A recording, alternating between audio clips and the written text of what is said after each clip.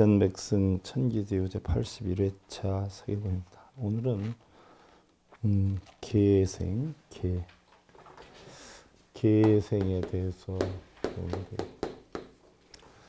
계생과의 어, 좋은이냐 나쁜이냐 그랬어요. 그럼 계생은 계축이 있고요. 또 계묘가 있고 또 계사가 있고 또 개미가 있고 또 개유가 있고 또 개해가 있어요. 자, 그러면 천간에 대해서 이제 오늘이 마지막 시간이에요. 음. 자, 개송 하나 살펴보겠습니다. 어, 논어라고 하는 것은요, 어, 공자님의 제자들이 만든 것이지요.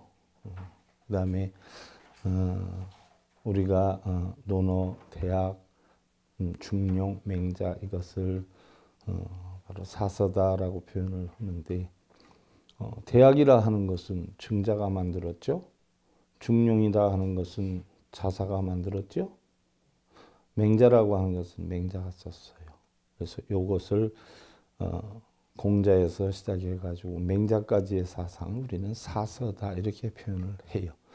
어, 그 가운데에 가장 이제 주축이 되는 게 논어가 주축이 되는데 논어는 공자의 제자들이 제자들이 쓴 거예요. 공자님은 아, 사실은 여러분들은 뭐 처음 태어나면서부터 뭐 대단한 그런 인물로 알겠지만요. 참 힘들게 사셨던 분이에요.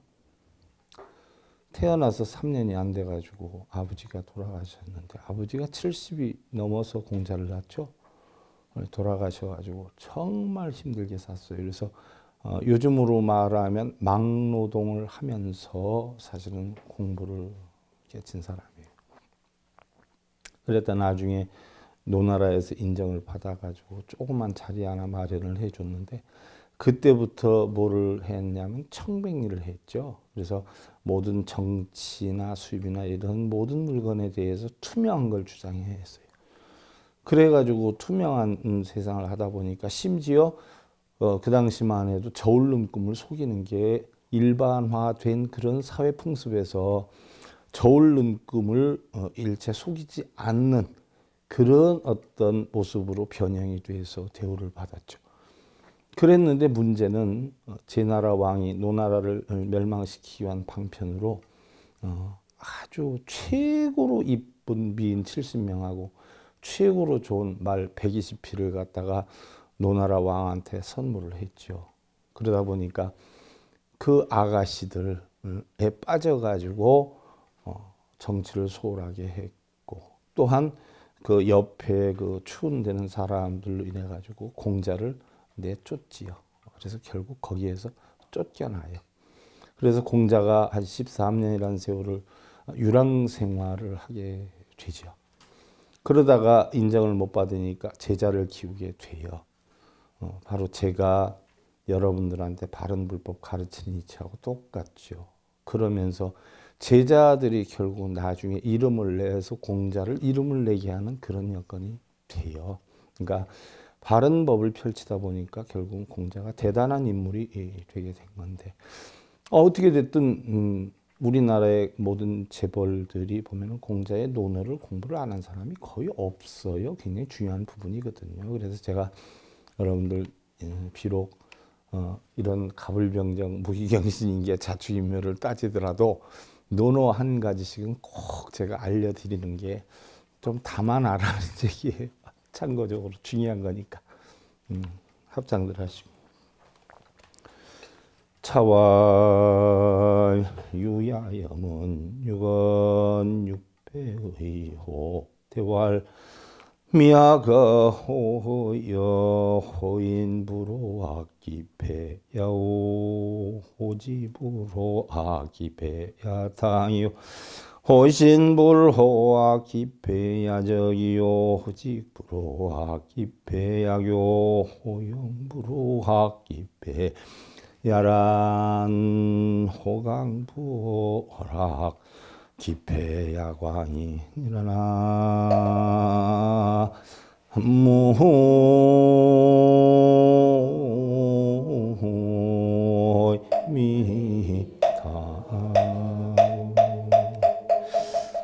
글쎄 여건이 되면 사서 삼경에 뭐 한비자니 뭐 이런 것까지 여러분들한테 강의를 하면 참 좋을 것 같은데 아 불교 하나 가르치는데도 이렇게 참 배우고자 하는 사람들이 적으니 이거 어디 뭐 해먹을 그 재미가 있겠느냔 말이오요. 다 배우면 자기네들 편안하고 좋을 텐데 그런 배움은 하나도 안 배우고 편하게 얻기를 바라고 있으니 얼마나 우리 마음들이 도둑심들이 많은지 그거를 보면 아 여러분들 쩍함 뭐예요? 쩍함은 입맛이잖아. 퉁함 뭐예요? 담 넘어 호박 떨어지는 소리요. 여러분 모습 딱 한 번 보면 어떻게 돼? 내가 가르치고 싶은 마음이 없어지는 경우가 대부분이에요. 말을 하고 싶은 마음도 이를 때가 적지 않아요. 그래도 그나마 여러분들이 있어 주셔서 제가 너무 행복하고 감사할 뿐이지요. 근데 한 사람 한 사람 더 오게 하기 위해서 어, 노력하는 거에 비하면 참 안 오거든요.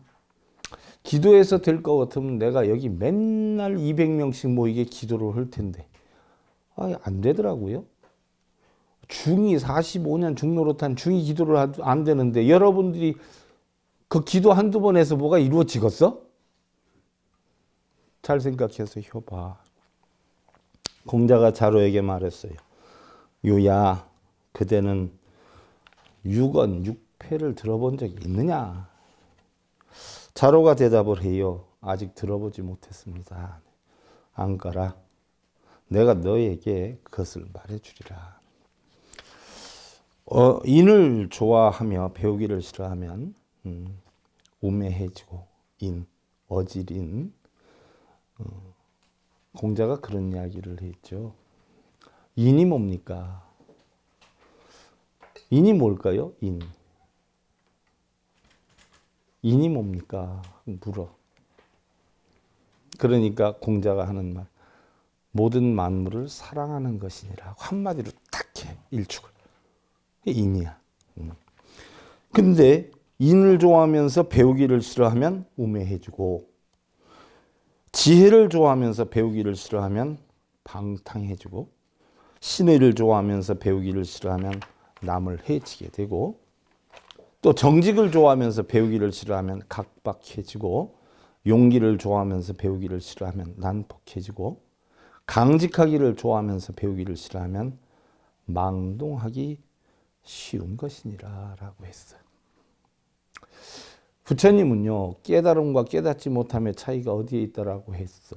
극락과 지옥의 차이가 어디라라고 했어요. 우리가 미타정도 삼부경에 보면 극락이 어디에 있어요? 서방에 있는데 서방으로 겐스강 모래할 만큼의 시팡아를 가면 거기가 극락이 있다라고 해 있는데 부처님은 실제로 거기 있다라고 했어요. 한 마음이 편안하면 그게 극락이고 한 마음이 괴로우면 지옥이다라고 했어요. 그러니까 극락과 지옥은 어디예요? 마음 하나에 달려 이야기예요. 근데 그 마음 깨치는 게 겐지스강 시팡아를 가는 만큼 시간이 걸려도 깨우치기가 힘들다는 얘기. 그래서 머리에는 생각을 하는데 마음에서 깨치지 못하지 않아요. 그래서 여기서 여기 30cm 오는데 40년이 걸려도 못 와. 중생들은. 맨날 빌기만 하기 때문에. 근데 이치를 아는 사람은 어떻게 돼요? 이게 순간이야. 한순간. 찰나. 그래서 극락과 지옥은 한 마음에 있다라고 했어. 그러면 나폴레옹은 뭐라고 했어요? 성공에서부터 실패까지 거리는 얼마나 될까요? 한 발자국이 지나지 않는다라고 했어. 성공과 실패는 한 발자국 차이다라고 했어. 나는 사소한 일이 가장 큰 일을 결정하는 걸 보았다. 나폴레옹이 한 말씀이에요. 그러면 알렌이라는 사람은 뭐라고 그랬어?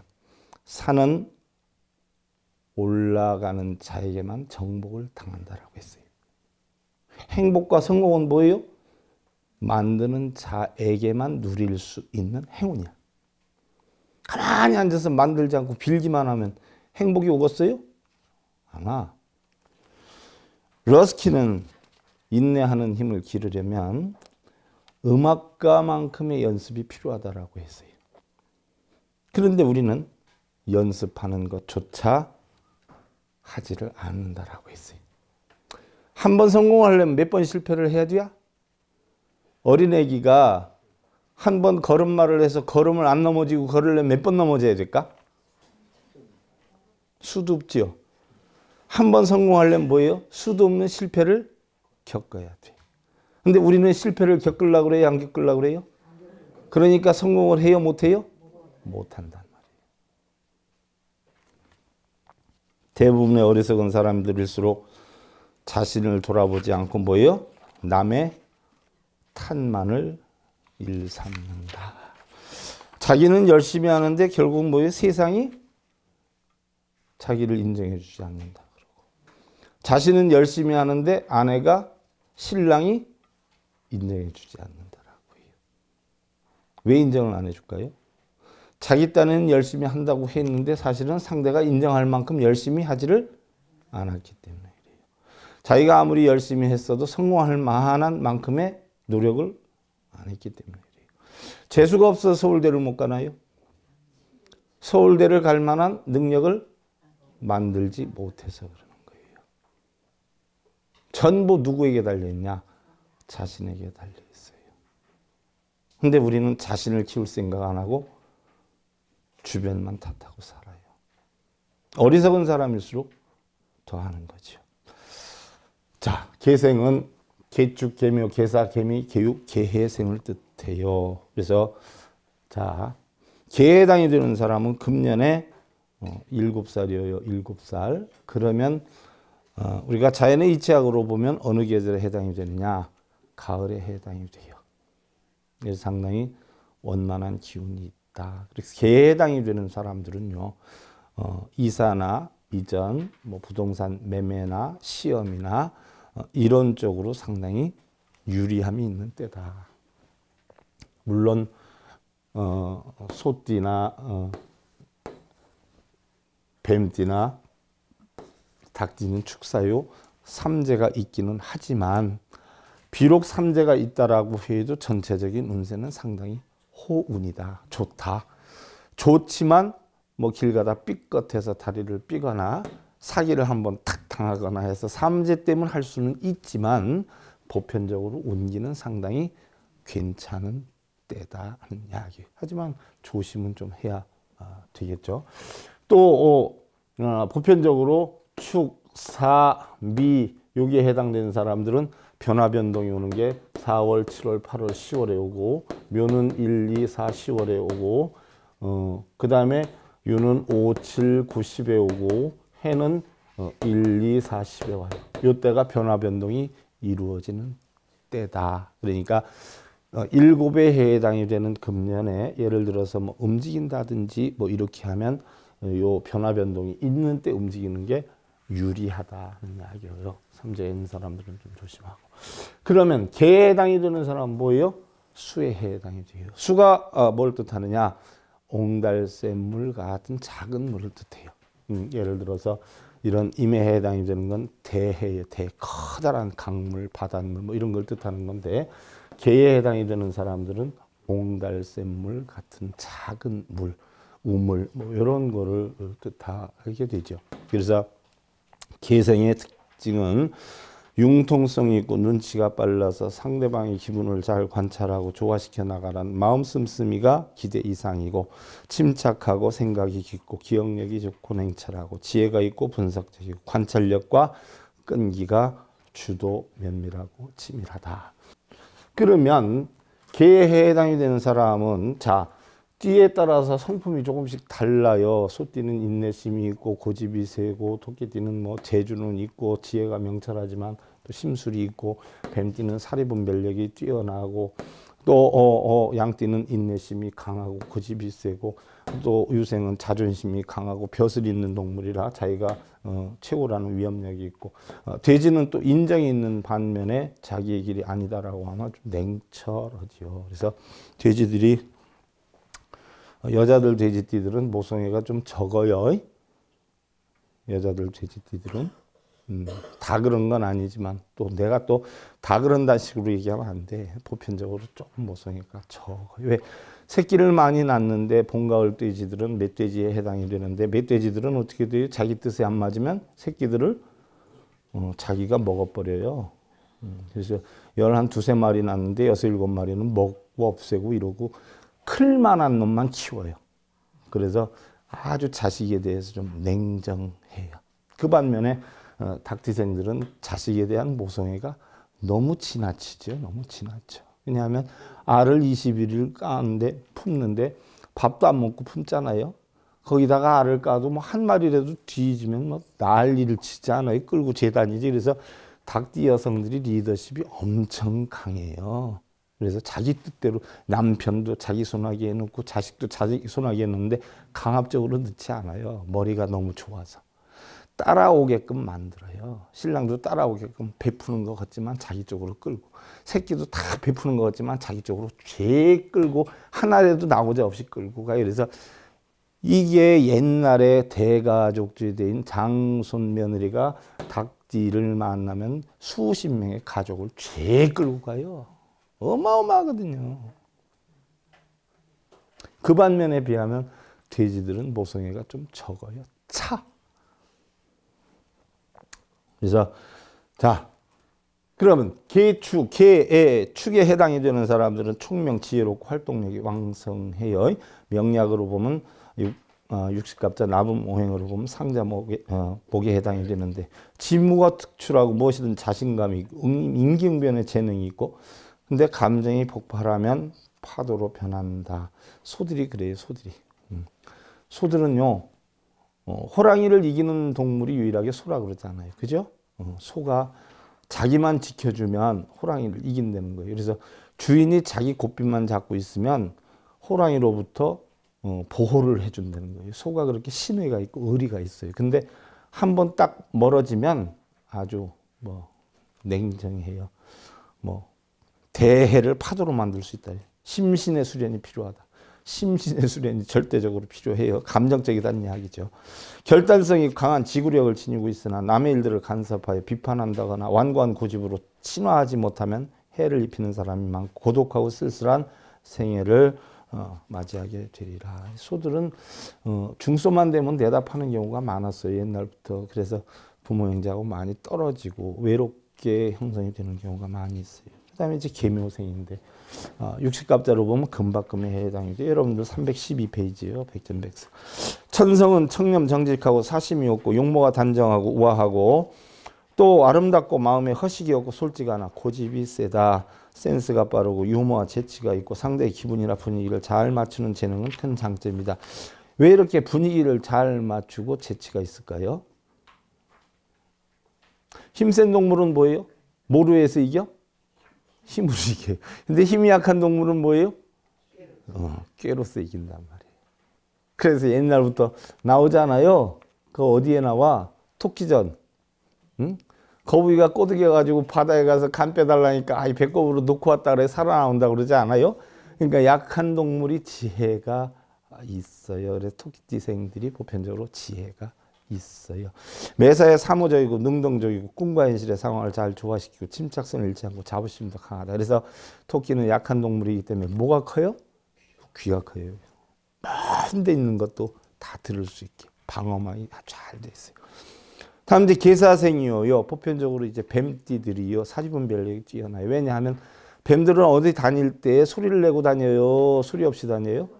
어, 그래서 그 마음속에 뭔 생각을 하루인지 몰라요. 음. 천성이 순박하고 낭만적인 면도 지니고 있고 자질이 영리하고 기억력이 좋고 청년 결백하고 겸손하다. 순간적 판단력이 뛰어나고 사교성이 있고 지식을 활용하는 능력이 탁월하지만 292페이지에요. 자기 유지의 경험도 없지는 않다. 어, 리더가 되는 재질을 지녔으나 다소 과단성이 부족한 면이 있으니 보다 폭넓은 시야를 갖춰야 큰 업을 이룰 수 있으리라. 개미생 272페이지. 지략이 뛰어나고 사교에 민첩하고 지도력 통찰력이 있으나 참을성이 부족하고 인생을 너무 쉽게 생각하는 경향이 있으니 이 점만 고치면 지도자로서 두각을 보이게 되리라. 모험심을 버리고 학문에 전념하고 청운의 꿈을 품고 천리길로 한 걸음부터라는 자세를 지니면 뜻한 바대로 순조롭게 이루어진다. 양들은 특징이 꾸준히 노력하는 게 특징이에요. 꾸준히. 예. 그래서 양띠 여자분들이 생활력이 강해서 어, 남자가 가정을 안정적으로 끌고 나가려면 양띠 여자를 만나라 하는 성향이 있어요. 음, 양띠들은 그냥 있지를 않아요. 평생 뭐래도 하려고 야. 음. 또 개유생 건봉금에 해당이 되는데 마음이 밝고 생각하는 것이 지혜롭고 고지식해서 원리 원칙을 신조로 하고 타협을 잘 모른다. 성품이 온화하나 진취적이고 희생적이고 능통한 재, 어, 재주와 지혜가 있고 덕망이 재능이 풍부하고 252페이지에요. 새로운 계획은 잘 수립하는데 용두사미가 되는 경우도 적지 않다. 명석한 두뇌는 결단력의 부족으로 좋은 길을 잃게 되거나 완고한 주장은 목적 달성에 장애물이 될 수 있다라고 했어요. 그 다음에 이제 계사, 아, 음, 계생이라. 계생은 보편적으로 인정이 많아요. 인정이 많은데 예, 자기 어떤 여건에 의해서 움직여지지 않으면 자기가 인정하는 부분에 대해서 인정을 하지만 자기가 인정하는 부분이 아니다라고 하면 그때부터는 엄청 차져요. 그래서 어, 봄가을 돼지들이 보편적으로 자기 뜻대로 되지 않으면 자기 몸이 쓰러지는 경우도 있어요.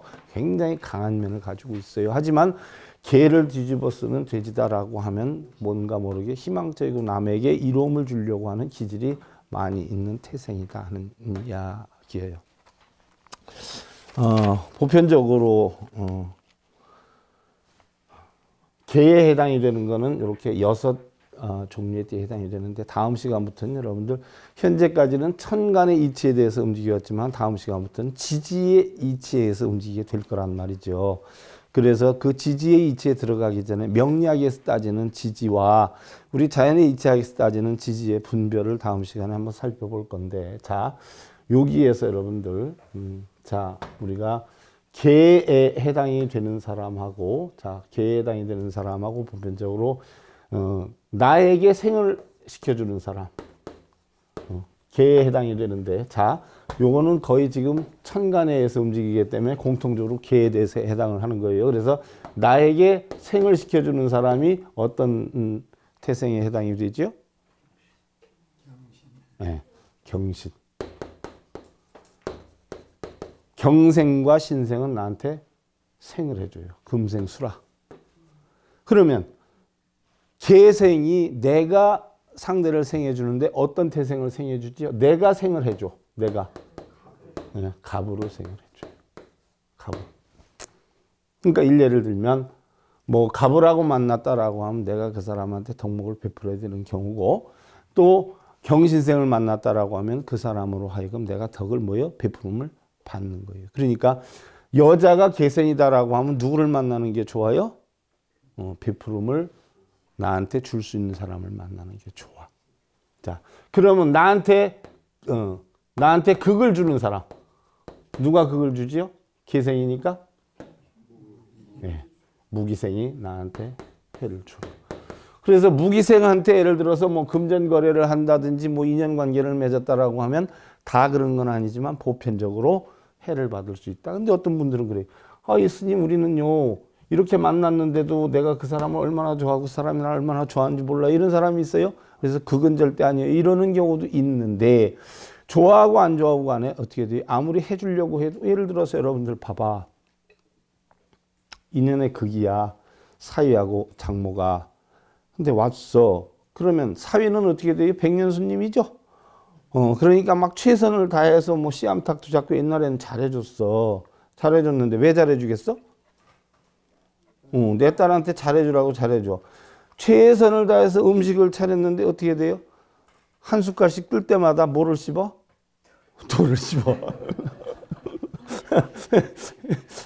아이, 겉으로는 좋아. 근데 돌을 씹어. 그러니까 장모가 미안해서 백보보다 아이고, 어떡하나, 어떡하나 하다. 아유, 돌이 너무 많지. 그러니까 사위가 뭐라 그래? 아니에요, 장모님. 쌀보다는 적은데요, 뭐. 그런단 말이야. 그러니까 인연의 극이 되면 덕을 주려고 해도 해가 자꾸 되고, 인연의 합이 되면 내가 너를 위해서 하나도 못 해줬다가도 어떻게 돼요? 그 사람이 급한 일이 생기면 생각지도 않았던 돈이 생기거나 여건이 생겨서 도움을 줄 수 있는 여건이 돼. 인연의 합이고 극이야. 뭐 얼굴만 뭐 바삭바삭하게 잘 지낸다고 합이고 그게 아니란 말이에요. 그러면 내가 그걸 주는 경우는 어떻게 돼? 네, 병쟁해야 돼. 그러니까 부부관계도 이렇게 만나면 어떻게 돼요? 문제가 형성이 될 수 있는 거예요. 그래서 이제 다음에 지지에 대해서 끝나고 가족 간의 부부 간의 어, 인연법과 부모 자식 간의 인연법을 따질 때 해결하는 방법을 그때 또 가르쳐 줄 거예요, 내가. 응? 여러분들하고 연구를 해서 해주게 될 거예요. 그래서 어떻게 됐든 아, 개생은 경신으로 인해서 도움을 받고 갑을생에게 도움을 줘야 되고 무기생으로 인해서 내가 극을 받아야 되고 또 병정생에게 극을 주는 이런 어떤 여건이다 하는 이야기예요.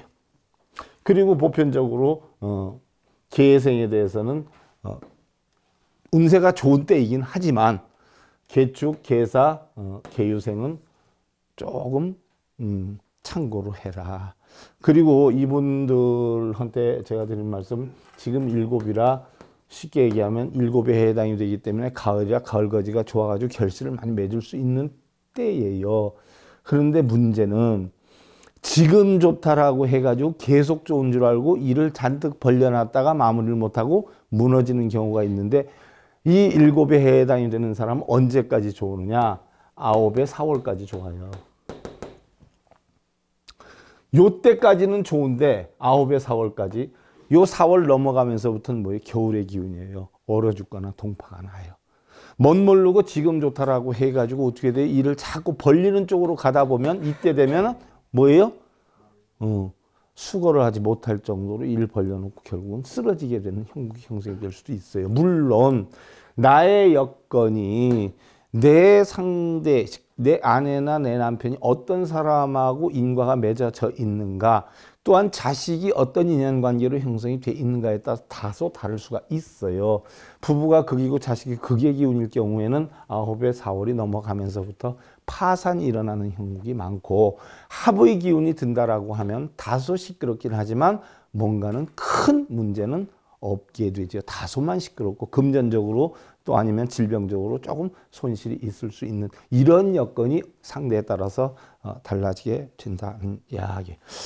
어, 우리 삶에서요, 사실은 아름다운 어떤 의복보다는요, 음, 여러분들은 거치대를 많이 하지 않아요? 거치대. 쉽게 예를 들면 옷, 뭐 가방, 어, 스타일 이런 거에 신경을 엄청 쓴단 말이죠. 근데 여러분들은 그런데 굉장히 아름다움이 있는 줄 알아요. 근데 진정한 아름다움 어디에 있어요? 음, 그 사람의 마음에. 성형하지 않는 자연스러운 마음에서 우러나오는 미소. 그게 정말 평안함을 줘요. 그리고 어차피 수술을 하려면요. 정 수술하고 싶으면 눈 째지 말고 입 째요. 입, 입, 입. 화가 나도 어떻게 돼요? 어, 웃는 모습이 이게. 이래도. 웃는 모습이 보이면 주변 사람들한테 평안함을 주잖아요. 눈을 자꾸 수술해가지고 가뜩이나 날카로운 눈이 어떻게 돼요? 더 날카로워지면 본의 아니게 옆에 사람한테 거예요. 살생. 다소 어려운 일이 있더라도 미소를 짓는 거. 우리가 찡그린 얼굴을 펴는 것만으로 해도 마음이 펴지고 그잖아요. 얼굴을 펴는 것만으로도 마음이 펴져요. 또 하는 일이 펴질 수 있어요. 그래서 부처님은 방생을 그렇게 하라고 한 거예요. 근데 여러분들은 방생하라 그러면 무슨 뭐 미꾸라지니 뭐 그런 것만 살려주러 다니기 바쁘지 않아요? 아니에요. 남편이 잘못하고 아내가 잘못하고 자식이 설령 잘못한다라고 하더라도 너그럽게 포용할 수 있는 마음을 지니는 거 그것을 인해서 뭐 주눅 들지 않고 또 그런 실수에 대해서 인정하고 더 큰 어떤 뭐예요? 어, 노력을 위해서 뛸 수 있도록 힘과 용기를 주는 거. 이게 방생이지. 방생의 뜻도 모르고 맨날 미꾸라지만 살려주러 다녀. 하긴 뭐 돈 있는 사람들은 자라도 사고, 뭐 요즘 돈 더 많은 사람들은 뚜껑도 사서 한다 그러대. 아, 참. 꽝. 웃는 얼굴은, 아, 자꾸 세련돼지는 거예요. 웃는 얼굴은 얼굴에 좋은 화장일 뿐만이 아니라 생리적으로도 피해 순환을 원만하게 하는 인생의 훌륭한 약이다라고 했어요. 그래서 여러분들 방생하는 게 가장 큰 방생이 뭐예요? 빵긋빵긋 웃고 있어라. 그게 가장 큰 방생이다 하는 얘기예요. 우리 보살님들이 도끼 눈 뜨고 있으면 남편이나 자식이나 문 열고 나와요? 안 나와요? 거기다 소리까지 큰 소리 치면은 문을 잠글까요? 안 잠글까요? 그리고 더 한번 큰 소리 치면 어떡할까요? 음, 갑자기 남편은 없던 누구 돌아가셨다고 장례식장에 가고 친구도 어떻게 돼요? 아 자식도 친구가 어떻게 됐다고 나가요. 그리고 나가면 전화를 해줄까요? 안 해줄까요? 음, 왜안 해줄까요? 들어가서 한 번 욕 먹지 왜 전화로까지 욕을 먹어 이래요. 누구나 똑같은 마음이에요. 그럼 남편을 밖으로 쫓는 건 누가 쫓는 거예요? 근데 대부분의 분들은 보살님들이 그러세요. 우리 신랑이 요즘 늦게 들어와 속상해서 죽겠다고. 늦게 들어오고 안 들어오고 하는 건 누구 책임이 더 커요? 물을 쏟아봐요. 이 물이 어디로 갈까요? 낮은 데로 가요. 편안한 데로 가요. 그 물이 남자예요. 남자는 배, 여자는 항구예요. 항구가 배를 끌어다 댈까요? 배가 지가 닿고 싶은 항구로 갈까요?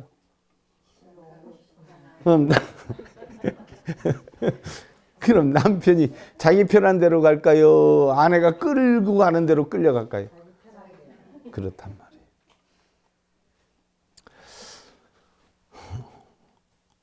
오비디우스는요. 우리 사람들이 번뇌하는 가장 큰 이유는 남의 밭은 크게 보이고 남의 열매는 많아 보여요. 음. 또 남의 집 암소는 어떻게 돼요? 더 많이 저지를 짜는 것 같이 보여요. 그러나 정작 가서 보면 어떻게 돼요? 똑같아요. 사이러스라고 하는 사람은요, 참 명언을 했어. 제가 이 말에 참 감동을 엄청 많이 받았거든. 술잔은 비록 작은데 깊은 물에 빠져 죽는 사람보다 술잔에 빠져 죽는 사람들이 더 많다는 거예요. 무슨 얘기인 줄 알아듣겠죠? 우리 보살님들 속상하다고 술 너무 먹지 마.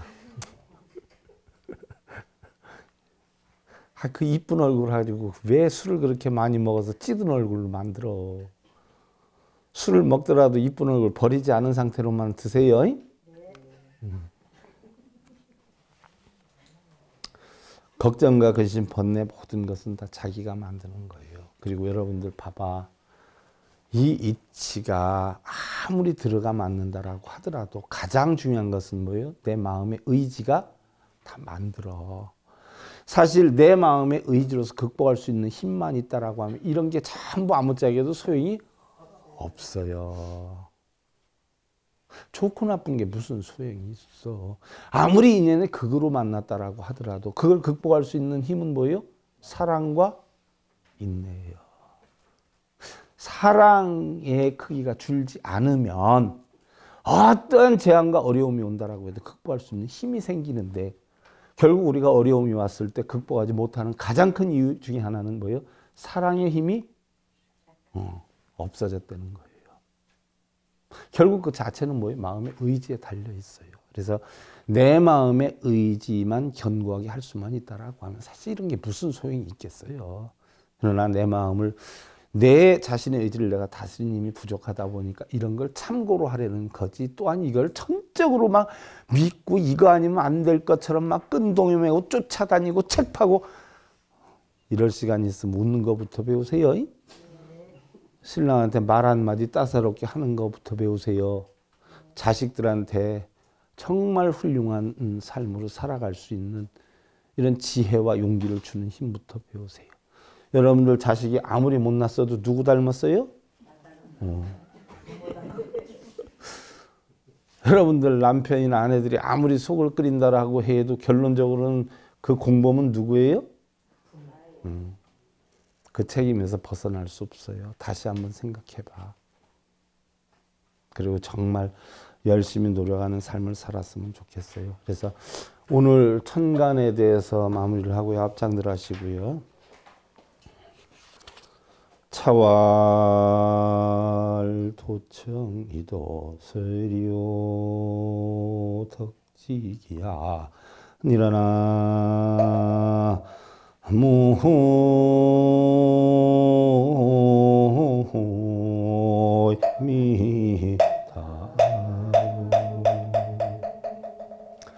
공자께서 이러시기를 길거리에서 들은 말을 길거리에서 말을 한다면 이는 덕을 버리는 것이니라. 이게 무슨 얘기일까요? 들은 얘기를 그 자리에서 쏟아보면 이거는 공덕을 깨뜨리는 거다. 왜 네가 확인해 보지 않고 남의 얘기를 듣고 믿고 남의 얘기를 그대로 인정하고 쏟아버리느냐? 예를 들어서 나한테 욕도 안 먹어본 사람이 어? 내가 욕하는 거 들은 사람한테 아 우리 스님 욕도 잘해 그러면 생전 욕도 안 들어본 사람이 아 그 스님 욕 잘해 이러는 거 지가 확인도 안 했으면서 내가 무슨 욕 잘하는 걸 지가 봤어 보지도 않은 사람까지도 그래 아, 본 사람이 그런데 내가 이해를 해. 근데 감정을 섞어서 욕을 안 하지. 지가 욕먹을 짓을 하니까 욕을 하지. 바로 그 이치. 들은 얘기를 그대로 쏟아부지 말아라. 그러면 결국 덕을 버리는 것이라. 남에게서 들은 것을 그대로 남에게 옮겨 아는 채 하는 것을 이구지학이라라고 하는데 소위는 귀로 들으면 바로 입으로 세워나고 만다. 이거 이거. 음. 이것은 경박한 행위로 인격을 내던지는 행위가 아닐 수가 없다. 몸에 배지 않는 학문은 실천에 옮길 수가 없는 것이다. 그런 거를 평소에 몸에 배게끔 해야 안 하는 것이지 그거 뭐 안 해야 되겠다는 생각으로 안 하는 거 아니야. 근데 언젠가도 얘기했어. 우리가 눈이 두 개고 귀가 두 개고 입이 하나인 것은 두 번 듣고 두 번 보고 한 번만 말하려는 기요. 응? 근데 듣는 것보다 어떻게 돼요? 말하는 게 적어야 성인인데 듣는 건 요만한데 말하는 건 이만해. 이건 뭐예요? 병자를 써서 쪼다 쪼짜라 그러는 거야. 그러잖아요? 듣는 것만큼 말은 어쩌다 필요한 말 한마디 해야 왕이 되는 게 이게 성현성자야. 근데 듣는 건 요만큼 듣고 그냥 지가 살찌워가지고 말을 크게 하고 이 쫄병명자를 넣어서 쪼다쪼자라고 그래. 음, 여러분들은 이런 사람이 아니기를 바라면서 백전백승 천기대유 제 81회차 서일봉이었습니다. 감사드립니다.